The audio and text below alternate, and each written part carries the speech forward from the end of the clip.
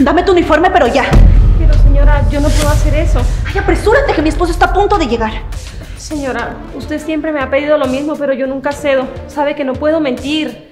Es que yo no te lo estoy pidiendo de favor. Te estoy dando una orden. Pero, señora... Ay.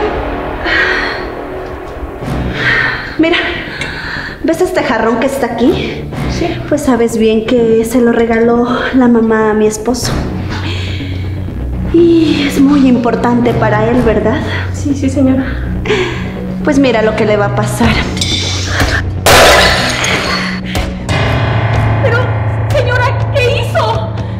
Si tú no accedes, le voy a decir a mi esposo que fuiste tú la que le arruinó el florero. ¿Y sabes qué va a hacer? Te va a echar de patitas a la calle. Y así, ¿quién va a cuidar a tu mamita enferma? No, no, no, señora, Mi amor. Ya llegué. Vete a buscar algo para limpiar. Pero ya, rápido, muévete. Sí, enseguida.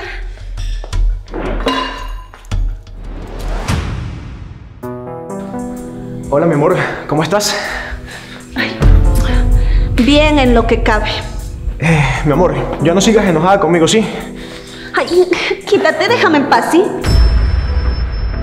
Está bien. Yo sé que tus berrinches son porque no siempre puedo cumplir tus caprichos. ¿Sabes qué? Mejor me voy a seguir trabajando en mi despacho. Tengo mucho dinero que reunir. Sí, sí, vete. Vete, vete. Señora, gracias por no delatarme con el patrón. Nada de gracias. Ahora mismo te sacas ese uniforme y me lo das ya. Yo te daré mi vestido. Sí, claro.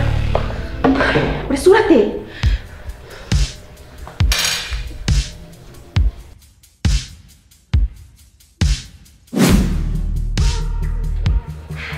Señora. Y nuevamente le agradezco por no delatarme con el patrón. Toma, ponte rápido esto. Aquí te dejo las joyas.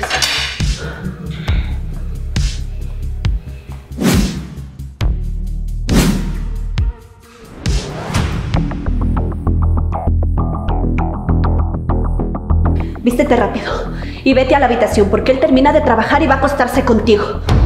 Pero, señora, el patrón no va a querer eso. No, no, no, no, no. Él no va a querer nada de eso porque ni se atreve a tocarme cuando yo estoy enfadada con él. Y procura no hablar mucho. Y ya, apresúrate.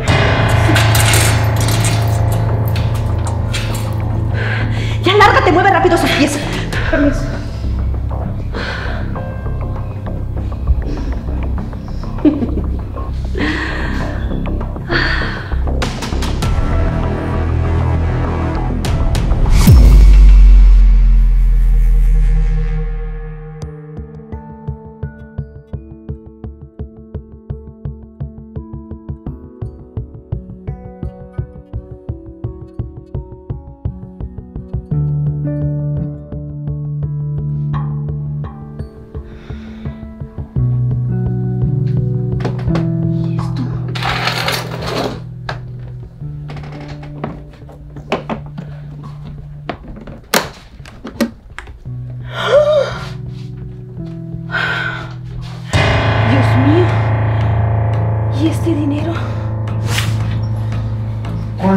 desperté, aquí estabas tú. Soñé.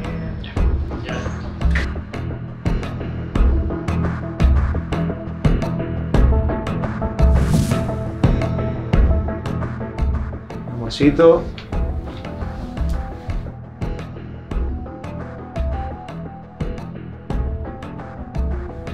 Mi amor, ya terminé de trabajar. ¿Y qué te parece? Si tú y yo la pasamos muy rico esta noche. No. Ay, mi amor, ya no sigas enfadada conmigo, ¿sí? Tengo sueño. Bueno, bueno, está bien. Te voy a dejar descansar. Pero quiero que sepas que te amo muchísimo. Y si no puedo comprarte el carro de tus sueños, el del año, es por una buena razón, mi amor. Eh, quiero confesarte algo. Algo que hasta el día de hoy nadie sabe. Pero tú vas a tener la primicia de enterarte. Mi vida, quiero ayudar a las personas que tienen cáncer. y las que son de bajos recursos, que no pueden pagar el tratamiento de esa enfermedad tan grave. Mi amor, yo creo que en esta vida tenemos que ser humildes y ser un poco agradecidos con lo que Dios y el universo nos regaló. Y de esa misma forma retribuirle un poco a las personas que más lo necesitan. Mi vida, te voy a decir algo y espero que no te pongas celosa. Yo siento mucha admiración por Esther. Mira esa muchacha. Tiene a su mamá muy enferma y sin embargo viene a trabajar en una bicicleta oxidada. Bueno, en fin, no te voy a seguir quitando el tiempo. Espero que tengas una buena noche y que descanses. Y no olvides que te amo, mi vida. Tu poeta. Ay, no, no puede ser. El Señor es muy bueno. Él ayuda a estas personas. Yo no puedo pagarle mal, no, no, no, no. Yo no puedo seguir con esto, la verdad. Al día siguiente.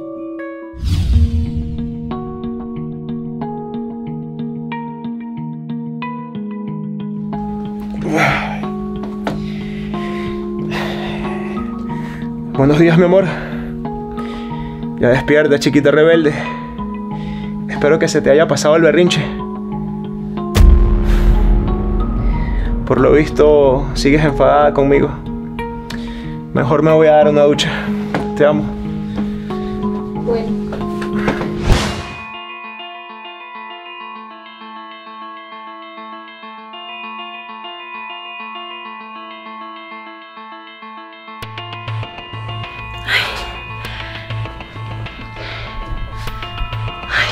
Qué hora llega la señora? Ya, sale de mi habitación ahora. Fuera, fuera. Ay, Señora, antes de irme quiero confesarle algo. Ay, ¿qué quieres? Habla rápido.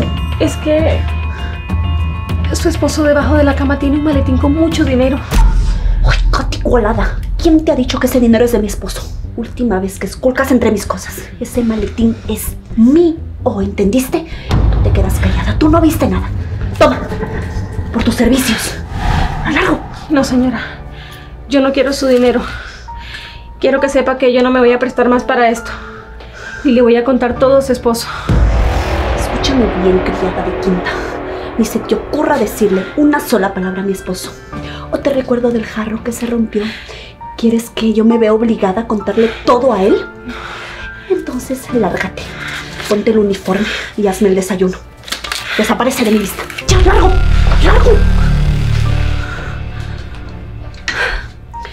Claro que no habrá una próxima vez, gata. Porque yo ya tengo todo el dinero en mis manos.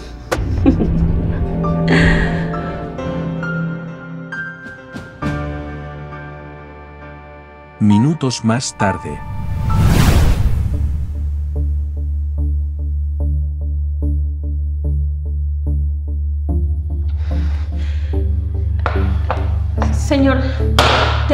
Decirle. Cállese, por favor, Esther. ¿Se puede saber qué significa esto?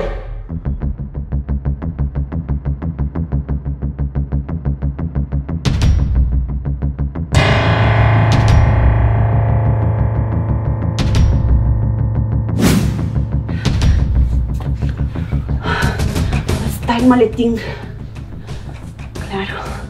Seguro esta es sobra de la criada. Ya va a ver. No, señor. Permítame explicarle. Esa es su esposa. Me tendió una trampa. Mira, te prohíbo. Te prohíbo que involucres a mi esposa en esto. ¿Te quedó claro? Señor, tiene que creerme. Yo no estoy mintiendo. Mi amor, mi amor, todas mis joyas desaparecieron. Lo sé, mi amor. Y adivina a quién fue. Esta mujer que tenemos aquí enfrente. Claro, mírala, está puesta todos mis pendientes, mi collar, inclusive todos mis anillos, mi amor. Estuviste esculcando entre mis cosas. Te dije, mi amor, que no puedes confiar en cualquier persona. No, señor, tiene que creerme.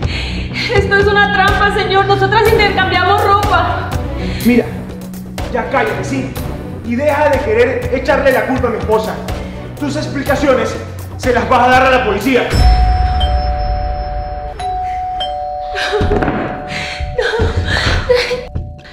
está mi dinero. Le contaré toda la verdad a la policía. ¿Y quién te va a creer? Si las cámaras claramente dicen que fuiste tú. Escúchame bien, métete esto en la cabeza. Tú eres una simple criada, trabajando en una casa de ricos. Y digas lo que digas, nadie te va a creer. Así que vas a pasar mucho tiempo en la cárcel.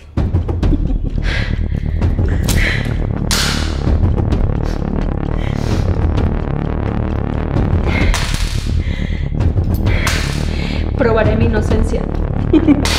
¿Y cómo lo vas a hacer? Si ni siquiera tienes dinero para curarle a tu mamá enferma, mucho menos vas a tener para un abogado. Pero te voy a dar una última oportunidad. Dime, ¿dónde está el maletín con el dinero? Y te ayudaré a escapar ahora mismo.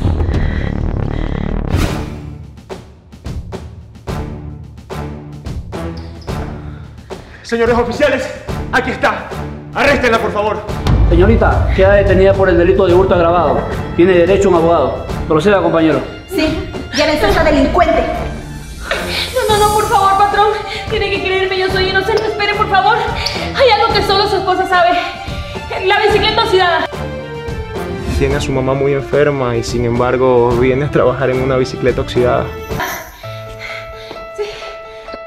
espera un momento. ¿Qué estás diciendo tú? Mire, usted no le puede comprar el auto a su esposa porque va a ayudar a toda la gente enferma de cáncer. Ella me obliga a que intercambiemos ropa. También me da todas sus joyas para que usted crea que es ella. Tiene que creerme, eso lo hace con el fin de robarle todo su dinero. Yo sería incapaz de hacer algo en contra de ustedes. Se han portado también conmigo. Mi mamá me necesita. Lo sabía. Sabía que algo pasaba. Sospechaba de tanto interés de tu parte. Pero el amor me cegó. Mira, yo te amaba. Y tú me haces esto. Esto no puede ser. Señores oficiales, llévense a esta mujer. Ella es la verdadera delincuente. No, no. Y me voy a encargar de revisar las cámaras. ¡Ay, te las vas a pagar! ¡Eres una traidora! ¡No seas descarada! Patrón, quiero pedirle perdón por no haberle contado todo antes. Lo que pasa es que su esposa me tenía amenazada con despedirme de mi trabajo. Tranquila, Esther. Yo sé que tú solamente fuiste una víctima de Eva. Y además, sé que tu madre sufre de cáncer. Y yo me prometo ayudarla. Quiero que la inscribas al programa y así yo voy a costear todos sus gastos. Pero muchísimas gracias. No voy a tener una manera como pagarle. Tranquila, yo te voy a ayudar.